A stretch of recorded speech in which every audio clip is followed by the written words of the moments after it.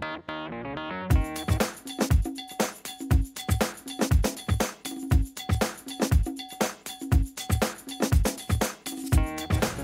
right, we just have done some video footage of some real winners. Those veteran stories are phenomenal. But those aren't the only success stories that we have. There's big successes and there's little successes. There are successes in many different areas. This dog, for example, um, she was on a video, a training video earlier. She was, first time I went to pick her up, she tried to bite me. She was not social, she was not trusting, she was not trained, she would run away, and you had to really be careful. With rehabilitation that we've done in the class, Lily has become a winner in her own right. Once she was socialized and she trusted, then it was fun to do things with her. So this summer, or fall was it, October, Lily went to the, it was a German celebration in Rockford, and Lily won the Dachshund races. And that involved a recall. She had to run faster than anybody else. She won both heats, and Lily is the champion. So this dog, although she won't be a service dog, she will be looking for a wonderful new home. And at this point, she can safely be placed because she's been rehabilitated.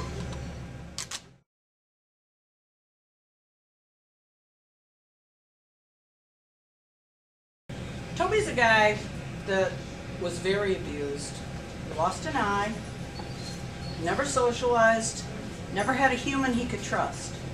When the people got tired of him, they dumped him in the Humane Society. Came here, and Toby has said it was very, very difficult. At this point, Toby has become a very fine little man. He still worries, very good with other dogs. Uh, we're looking for a home for him that is very stable, very loving, but firm enough that corrects him when he makes mistakes. He's a nice little dog, and he's Lily's best friend. Good boy. Little mini pet. He's from our toy department.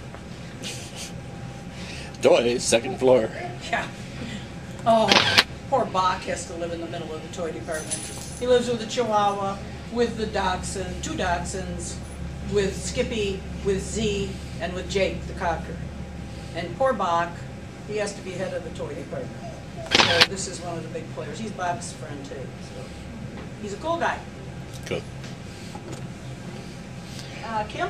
Yeah? Here you go. He's a little cocker. He's kind of part of the toy department too. Um, he's had four abusive homes. That's a hard one to bounce back from. Um, he had one good owner in the middle of that, but then she told him he was safe, and then she had her hip replaced, and then it went back to the other. So Jake came here. He had no trust in humans at all. None. If you looked at him cross-eyed, if you spoke, you raised your voice at all, he would just wilt and piddle. He had people who liked him and would come out and work with him periodically, but then they went away. So he would get his hopes all up, only to be betrayed again. The last one was one of the veterans that told him how much she loved him and spent tons of time and then bye-bye. So every time somebody would treat Jake sweet, he would hope, and then he would be depressed again. He got so bad that he just walked around in a funk because he no longer believed it was possible to be valued. Jake spent a year and a half, um, but really concentrated kennel time the last six months. Nobody's done anything with him. Except us. Which means if you act like a regular dog, you get attention. If you act like a wimp, nobody likes you. For that reason, Jake decided he liked acting like a regular dog. Now, a couple months ago, it was sad because he wasn't there yet, and a dog that piddles every time you look at it is not a dog that's going to be easy to place. Nobody's going to put up with that in their house. So I had made an appointment to put him down. I got sick. I was sick for about three weeks. And so while I was down, you, you could see Jake was kind of improving. And at that point, I decided to bring him up and give him one more chance. Jake has made a total turnaround. He finally has decided that he is of some value. He is not worthless like he felt. And now Jake actually seeks attention. He actually asks for attention. He actually will stand up for himself instead of wilt every time even a small dog, the Chihuahua, would boss him around. He now stands up and said, get out of here, you. And his little tail never quits wagging.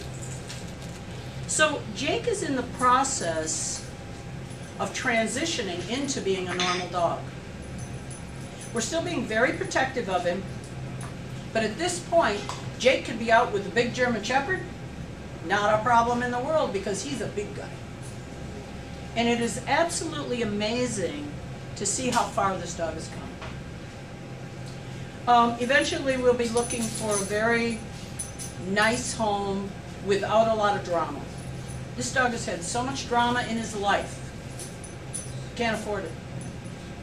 This is a dog that needs that emotional support that the other ones can give. Toby's the same way. Toby's a dog that needs emotional support. But this is truly a success story. Now, success in this case is not bringing him up to the normal for every other dog.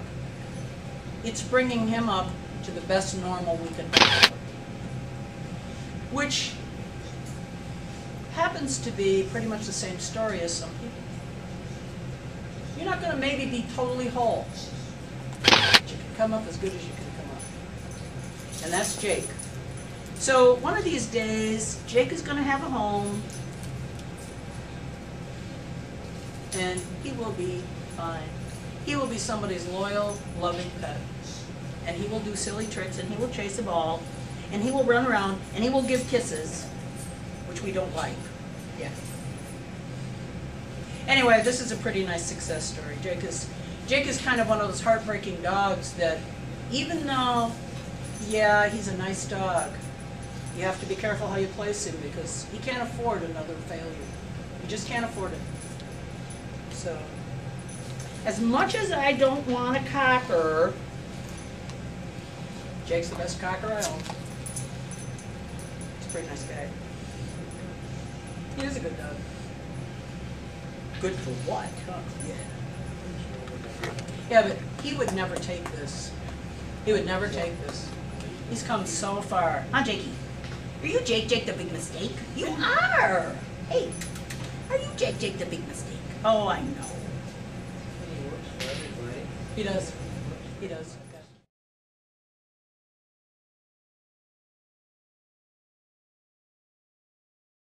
Now, Roy was a dog, little Pomeranian. The woman bought him. At four months old, she couldn't stand him anymore. Hadn't done anything with him. Couldn't figure out why he hadn't figured out how to be housebroke. I mean, uh, anyway, so Roy was raised here. He was taught some basics.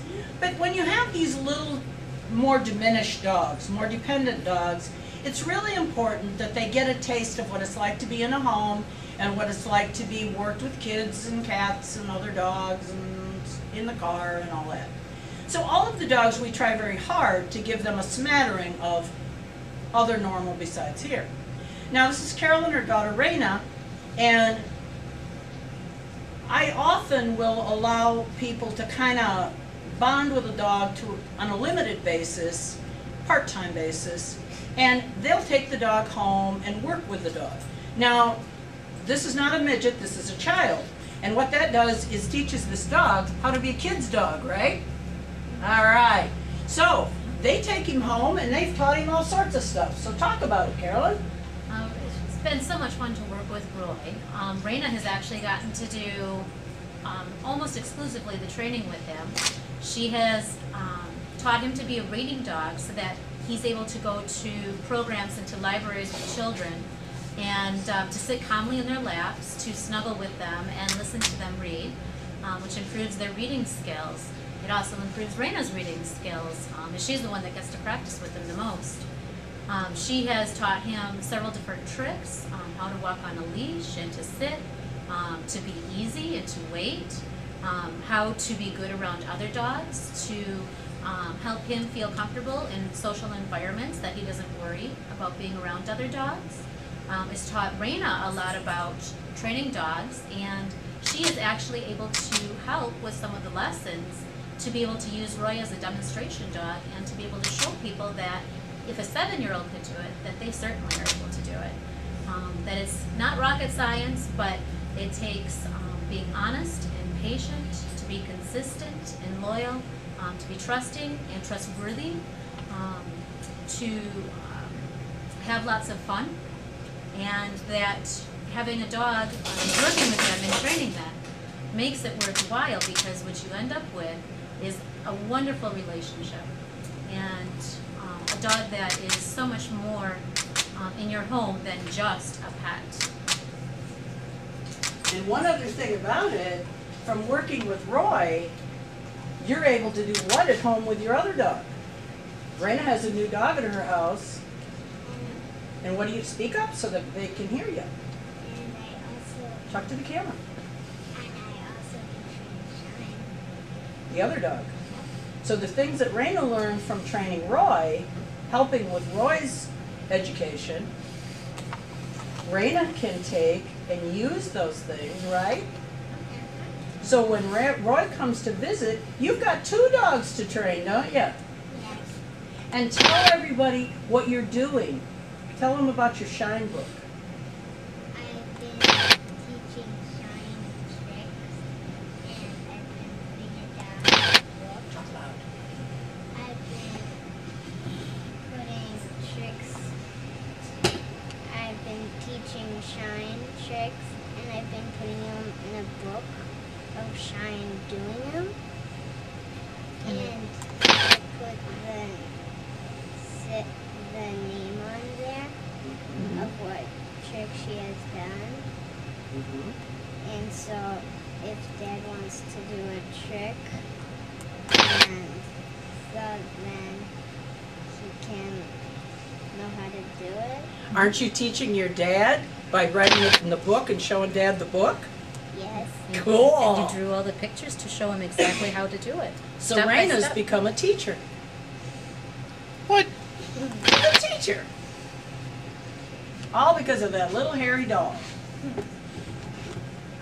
It's pretty cool. Very cool. That's very good. All because of a little unwanted Pomeranian.